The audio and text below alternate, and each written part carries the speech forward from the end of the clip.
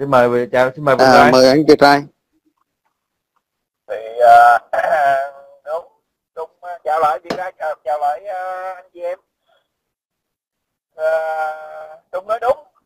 Nhưng mà ơi thì uh, cái chuyện đó thì nó như vậy. Mình thì có ý kiến uh, từ ngày hôm uh, ngày hôm qua bên mình thì uh, là ngày 29 hôm nay mới là ngày 30 Ờ, bên đây đang đang đêm 30 nè.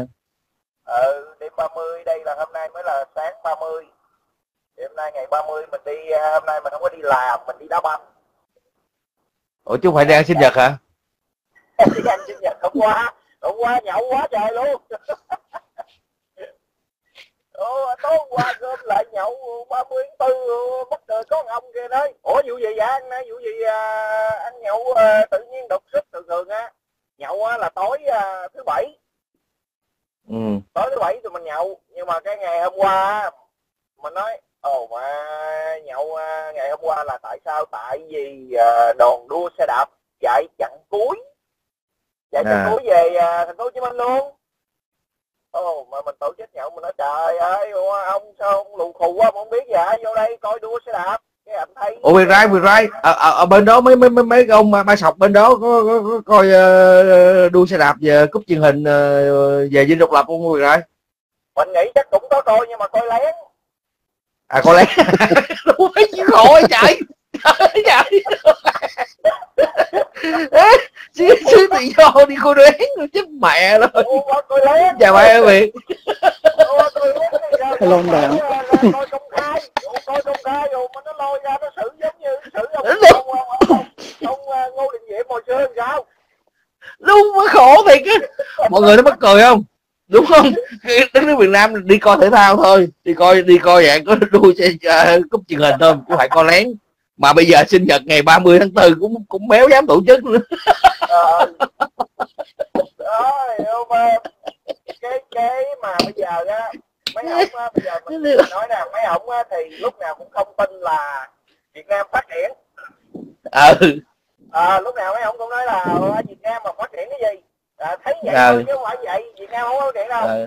mình vô à, mình cũng yêu nhau mình hỏi mình nói cho mấy người mà vòng vòng đây mà mình biết á mình nói muốn phát triển hay không á mấy đại ca mở à, cái HTV à, Sport thể thao lên mấy đại ca Ừ. coi đua xe đạp. Non xong liền một giải là biết liền à. Trời ơi, mình nghĩ chắc mấy anh cũng à, cũng à, à, không nói gì nhưng mà mình biết mấy anh cũng lén lén về coi phải không? Về coi lén chứ à, để coi coi ra làm sao chứ. Đó nhiều khi hộ mà coi mấy anh cũng muốn nhảy lên mấy anh coi hộ mà coi ngoài bắc coi miền trung coi à, mấy thành phố nó phát triển như thế nào. Thấy không đó eo, Ok. nó đau khổ lắm coi công khai sao dám coi ok ok Việt Trai xin lỗi Việt Trai xíu đã mình hỏi ai ở Việt? Hỏi ai Việt một câu cái giống nãy hỏi Việt Trai á. Dạ chào ai anh Việt Việt hỏi Việt. sau? Rồi, Hello, ai. Việt gọi là Hello, chào mọi người đi mình mình xin hỏi bạn câu này cái ai Việt? Hello anh bạn hello anh em. À, không biết ờ, anh bạn có nghe mình nói rõ không vậy anh bạn? Rõ nghe rõ à. Ồ cảm ơn anh bạn nha. Ủa, Việt, Ờ, ờ, mình hỏi- mình rồi ai Việt lên rồi mình hỏi ai Việt thế này nè Việt. Ờ, bạn á bạn hiện tại là tính tới thời điểm này thì bạn là đã sinh sống ở ờ, nước Mỹ được bao nhiêu năm rồi? Bốn chục năm rồi. Trời ơi hơn Việt ra tới 7 năm bốn bốn chục năm rồi ok. Thì mình hỏi mình ờ, tức là một thời gian rất là dài đúng không ạ? Thì Ừ. ờ, nhân tiện đây mình hỏi bạn nè. Trong suốt 40 năm đó đó bạn ở nước Mỹ á bạn có bao giờ đi ăn một sinh nhật của người Việt nào bên đó vào ngày 30 tháng 4 chưa? Ừm, nhớ kỹ lại xem có có có lần nào đó đi sinh nhật vào ngày đó chưa? Chắc không có không có. Không có luôn hả? Không có. Ê, đủ. không có. Không có. Vậy vậy chứng tỏ là một là những người bên đó người ta kỵ người ta kiên kỵ người ta không sinh vào ngày sinh đẻ vào ngày 30 tháng 4 có thể thí dụ như là có thể đi đi đi đi, đi vào Rồi. phòng sinh á. Mình mình cắt mình cắt hơi quan cái chỗ này nha. Ông chơi ông ông ông ép người hơi quá đáng đâu mà sinh đẻ cái lúc có đẻ thì phải đẻ chứ à, chơi mà không cho đẻ ngay ngày ba tháng tư thì sao? Đâu có nhiều khi có những cái trường hợp như thế này nè. Mình mình mà không ép cái này mình nói việc ra thiệt. Có những người người ta gọi là người ta dị đoan á không? Người ta dị đoan á. Ví dụ như người ta biết uh, sinh con sắp tới ví dụ bác sĩ đoán đi là sinh vào ngày đó đi người ta phóng trần người ta nói thôi uh, một bác sĩ can thiệp làm sao cho sinh sớm. Đúng rồi đúng rồi đúng rồi. Hoặc là mổ bắt con ra. Trường hợp này có nha. Cái này mình không mình mình này mình không nói về cái ngày 30 tháng 4 như tức là mình nói là thực tế ở ngoài xã hội có những câu chuyện như vậy đúng không thì có khi nào trong cái trường hợp này là ví dụ như vì lý do là A, A B C X Y Z gì đó thì họ không muốn con họ sinh vào ngày 30 tháng 4 thì họ có có động thái nào họ họ can thiệp để sinh khác ngày 30 tháng 4 được không? Ừ. cái này á, thì hồi xưa thì nó khác anh bạn nhưng mà Ừ. bây giờ thì anh, anh nói những vấn đề mà sinh Ừ. con á, thì họ lui lại cái đó cái đó thì có chứ không phải là không nhưng Ừ. mà cái vấn đề mà bạn mình hay là những người mình biết này nọ thường thường tổ chức sinh nhật này nọ đó thì Ừ. tại vì ở Mỹ nó mỗi người xa cách xa nhiều khi cái cái sự mà gặp gũi hay là tùy theo chủ nhật hay là thường ít thường họ đúng tổ không? chức Ít đúng không? Ừ. Ừ. thường thường họ tổ chức là giống như là cuối ờ, thứ bảy hay là thứ sáu này chứ nếu mà nó cái ngày 30 tháng 4 mà nhằm cái ngày thường mà người ta đi làm này nọ thì ít có ai mà gọi tổ chức này nọ lắm nhiều khi họ tổ chức Ừ. sớm hay là muộn hay là gì đó thôi nhưng mà bạn bè của mình á, thì cái thời hồi xưa á, thì ít có ai mà mời về cái vấn đề mà sinh con cái á. tại vì con cái thế hệ trẻ hồi xưa anh em mình á đứa bạn Ừ. mấy đứa bạn mình toàn là có con là muộn không à cho nên mà ít có đứa nào mà sinh qua cái ngày 30 tháng 4 lắm không, Ừ. không chắc là không có luôn á à, cho bạn ơi nên ơi Việt ơi bạn ơi ơi Việt ở ngay chỗ uh, Cali là cái khu Việt Nam Đông ông để ý năm nay ông để ý đi nha tại vì năm nay 30 tháng 4 là ngay ngày thứ bảy nè coi coi vòng vòng ông coi thằng nào nó tổ chức sinh nhật tiệc tùng là ông biết liền à ừ đúng rồi đó, đúng rồi đó. không, Đúng rồi đó. không hôm nay là 30 tháng 4 là thứ bảy mà mà nó nó Đúng rồi. chơi birthday là phải chơi ngày này thôi thì đúng thì cái đó thì anh Việt Pride nói đúng. Nhưng mà giống như là họ tổ chức mà để mà sum họp lại những người lính này nọ đó thì bữa này thì rất là đông. Nên nó nhằm nhằm ngày thứ bảy luôn. Cho nên thì à, rất là đông. Còn cái vấn đề mà sinh À. nhật cái vấn đề sinh nhật á thì à, dị- bữa này thì nó nhằm cho ngày thứ bảy thì có thể là ờ, anh Việt Pride nói đúng thì ờ, có thể là có nhưng mà bạn bè của mình mình ít bao giờ mà đi sinh nhật này nọ lắm tại ở xa rồi, này nọ.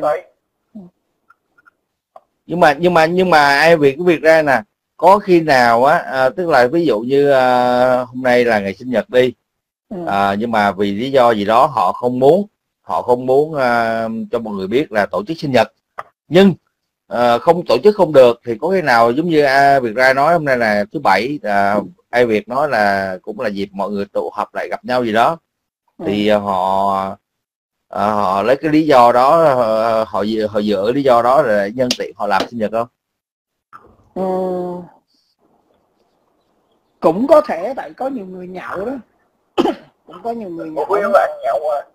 chủ yếu là ăn nhậu thôi thì giống như anh Ừ. Việt Pride nói đúng á, thì chủ yếu là bây giờ nè chuẩn bị người ta đi chợ mua đồ rồi cái tối về họ nhậu nó ha, đi làm ra tối thứ bảy về là sum họp lại cái nhậu thì cái vấn đề nhậu thì từng nào họ cũng nhậu đó nhưng mà nếu Ừ. mà nói về chung cái ngày 30 tháng 4 á thì có thể nó cũng À, còn anh nói mà nếu giống như gia đình ờ, chế độ cũ mà sinh con ra mà ngày 30 tháng 4 hay gì đó mà bây giờ mà tổ chức thì không biết có họ có tổ chức hay là không thì cái vấn Ừ. đề đó thì mình cũng không có cũng không có thì bạn không thì đúng rồi bạn bạn không thể khẳng định được đúng không? Chúng ta không thể khẳng định được. Nhưng mà ý mình nói á, ý mình hỏi cho bạn với lại Việt Rai á, là giống như Việt Rai nói là à, được à, sinh sống tại Mỹ là 33 năm đúng không? Còn bạn là 40 năm. Thì Ừ. cả hai người á, ý mình hỏi là trong suốt cái quãng đời đó đó thì hai người có có từng thấy một cái sinh nhật nào được tổ chức vào ngày 30 tháng 4 chưa? Chưa tức là không đi gì ngày ờ, của, của của năm này tức là của hàng năm luôn á. Chưa đúng không? chưa à đó rõ ràng là chưa thấy thì còn còn ngược lại thì rõ ràng chúng ta cũng không thể khẳng định được đúng không? Chúng ta cũng không thể khẳng định được là là thế này là thế nọ. Nhưng mà câu hỏi đặt ra chỉ là chúng ta thấy chưa? Và và rõ ràng là giữa hai bạn là chưa ai thấy hết. Đó vấn đề nằm đó ờ. em lại có một cái nghi vấn này nữa này. Ừ. chúng ta hay nghe câu nói là giận cá chém thớt đúng không ạ? Thế lỡ ừ. may những cái anh đó mà anh sinh ra đúng ngày 30 tháng 4 có, thì có khi nào bố mẹ anh cứ nhìn thấy anh vào cái ngày đó là là thấy bực mình không ta? Có thể. À, lúc đó lại quay qua lại nói là ngày con hận ngày hận con. Đúng không? Đúng không?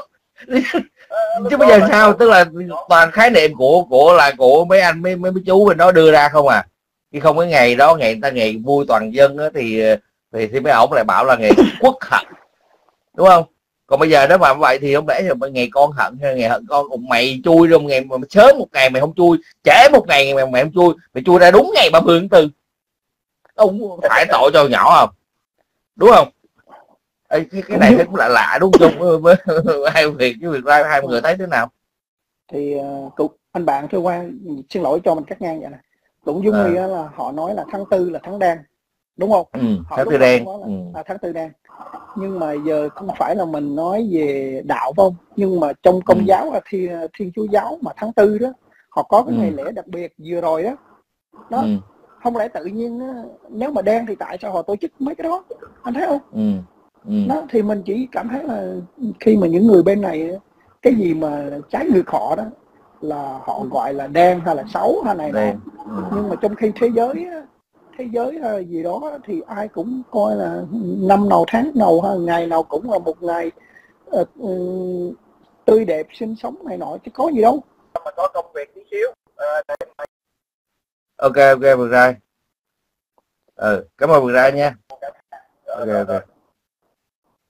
Ok ok vừa ra dạ chào anh Ờ, cái vấn đề vậy là anh bạn Thời Quang thì nó có ừ. tùy theo cái thành phố. Tại ở Cali nó có Bắc Cali, Nam Cali rồi. Chủ yếu là Bắc Cali với Nam Cali nhưng mà nếu mà Nam Cali thì ờ, dĩ nhiên là ở quận Cam. Nó ừ. ở khu Little Sài Gòn. Còn Bắc Cali thì chủ yếu là ở San Jose. Đó. Ừ. thì hai cái trung tâm đó là điểm chính về cho những người họ tổ chức uh, hay là diễn binh hay gì đó. Thì uh, cũng có một thành phố khác á, xa đó thì họ tổ chức trong nhà thờ. Đó. Ừ. nhưng mà mình mình nhiều khi mình không phải là mình kỳ thị nhưng mà mình kỵ nhất là tại sao mấy ổng lại lợi dụng nhà thờ tổ chức cái đó thì mình cảm thấy nó không có hợp lý. Tại nhà thờ ừ. là, là cái chỗ thiên nhiên à, người dân giáo dân đi lễ này nọ. Tức là mình mình cũng đông mình đồng ý với bạn luôn á. Đã là tôn giáo thì à, không nên à, dính dáng tới chính trị. Hai cái nó hoàn toàn tách biệt. Ừ. mình rất đồng ý với bạn điểm đó chứ có cái mình tính hỏi bạn cái này cái gì mình quên mà à thế này là bạn. À, nãy bạn nói những cái tức là chúng ta cũng thừa biết đúng không? Mà những ngày này ngày nọ gì đó thì họ luôn tổ chức uh, uh, làm lễ rồi đi ngoài đường giống như là giống như là duyệt binh đi. Cho cho chúng ta cho, cho, tạm gọi là cho rằng là họ họ gọi là duyệt binh đi đúng không ạ? Ừ. thì xin hỏi ai việc á ví dụ như là những cái đoạn đường hoặc những cái khu mà họ đứng ra họ tổ chức làm lễ thế này thế nọ đó là họ được uh, thoải mái là làm tổ chức như vậy à? hay là họ phải uh, xin phép chính quyền hoặc là có thể là uh, thuê thuê một cái đoạn đường một cái khung đường một cái sân nào đó tức là mọi, mọi câu chuyện là, là thoải mái tự do hay là phải tốn phí hay là phải thế này thế nọ ờ, cái này thì theo mình nghĩ là anh bạn theo anh bắt buộc là ừ. phải xin phép rồi tại khi mà ừ. anh mua tổ chức một cái văn nghệ hay cái gì đó đó anh bắt buộc phải xin phép đúng không? Tụ đúng tập rồi, đông người anh phải, anh phải xin phép rồi để uh, những cơ quan nhà nước uh, cái cái quận đó, đó họ sẽ sắp xếp rồi họ đưa người ra để họ ừ. thống kê lại là giờ giấc là bao nhiêu rồi ừ. uh, họ thống kê là uh, con đường nào là có thể là không có kẹt xe mà để lưu thông cho không ảnh hưởng đúng không không ảnh hưởng tới đúng, cái, đúng, cộng đồng đúng ừ. đúng rồi chỗ trung tâm này nọ đó thì mấy ảnh cũng trình bày lên này nọ rồi thì dĩ nhiên thì sẵn đó thì những cái quận đó hay là những người chủ chủ tịch ở quận đó thì họ hay là thống uh, thống đốc của thành phố đó thì họ thì họ cũng là cho mấy ổng tại họ nghĩ là à thì cái đó cũng là một cái ngày họ cho là cái ngày trong lịch sử của của cái, cái bộ tộc đó đó thì cho nên thì họ tức, tức là chính quyền chính quyền địa phương họ tôn trọng đúng không? Họ tôn trọng cái nguyện vọng của người dân. Ví dụ à, người dân ở khu vực đó muốn tổ chức cái gì nếu mà có kế hoạch trình bày cụ thể mà nó không ảnh hưởng thì họ cho phép làm chứ gì? Đúng không ạ? Cái vấn đề không phải là người dân mà cái vấn đề là mấy ông mà tự cho là là cộng đồng hay là tự cho mình là cái hội ờ, này nọ đó cái hội thôi. Anh bạn theo quan không? Anh bạn theo quan hiểu không? Cái hội thôi cho Ừ, nên ừ. thì một thì một cái nhóm hội nhóm gì Đúng, đó, hội đúng, nhóm. đúng đúng. Chứ còn mà người dân xung quanh mà giống như người dân đâu phải là chỉ có riêng Việt Nam ở đâu anh? Người dân là ừ. cả Mỹ trắng Mỹ đen Mễ rồi Lào Campuchia tùm lum la đó đâu có phải là chỉ có Việt Nam không đâu. Chẳng qua là ờ, nhà nước ờ, những người lãnh đạo ờ, trong cái cái thành phố đó thì họ chỉ cho phép ờ, cái không gian thời gian khoảng hai ba tiếng gì đó rồi ấy thôi còn cái vấn đề mà chi phí này nọ đó thì cái đó thì mình cũng ờ, nghĩ là chắc là không có đâu anh mình nghĩ là chắc Ừ. không có thôi miễn sao là các anh làm sao là cho nó đúng kế hoạch mà theo họ muốn vậy thôi đó phải là là được rồi còn ờ, cái vấn đề mà sự thật là những cái ờ, những cái Chào Lâm Văn Hà. cho những cái thành phố kia họ cho đó là chẳng qua là tại vì họ cũng lợi dụng mấy ông này thôi để là Ừ. ờ, phóng lên một cái cái tiếng tâm nào đó để chạy tội cho họ thôi. Chạy tội À. cho giống như Mỹ hồi xưa vậy thôi cũng là nói là à, thì họ cũng có được cái ưu ưu đãi này nọ rồi vậy đó. Thì nhiều rửa mặt khi á, như gọi rửa mặt, Nam mình hay gọi là rửa mặt đó đúng không? Đúng rồi rồi cũng nhiều khi nữa là vậy là anh bạn thơ quan Mỹ nó quýnh về cái tâm lý vậy nè là nhiều khi Ừ. á, là họ cố tình họ cho mấy ổng làm vậy á để là họ chọc quê mấy ổng nữa. Nó khổ vậy à, đó sỉ nhục ổng không- ý là sỉ nhục gì? đúng mà mấy ổng không có nhìn nhận ra cái điều đó, đó.